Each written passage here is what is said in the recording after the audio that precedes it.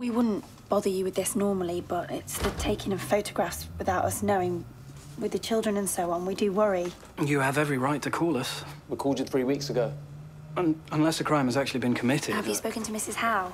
The elderly lady at number 84, she gets them too. We have had calls from some of your other neighbours, yes, that's why I'm here now. Because white people have complained?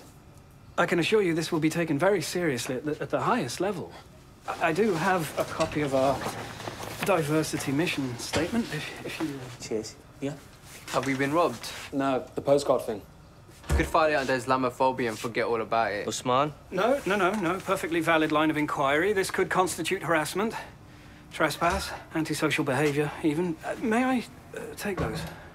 Help yourself. There'll be more. Uh, why do you say that? If it's a viral ad campaign, then they aren't going to stop till they reveal the punchline, are they? And if it's a wind-up, then they'll take it further. It will get worse. I'm sorry about Shahid. He is a student. This is the uh, third degree he started. He hasn't finished any, but he likes to start.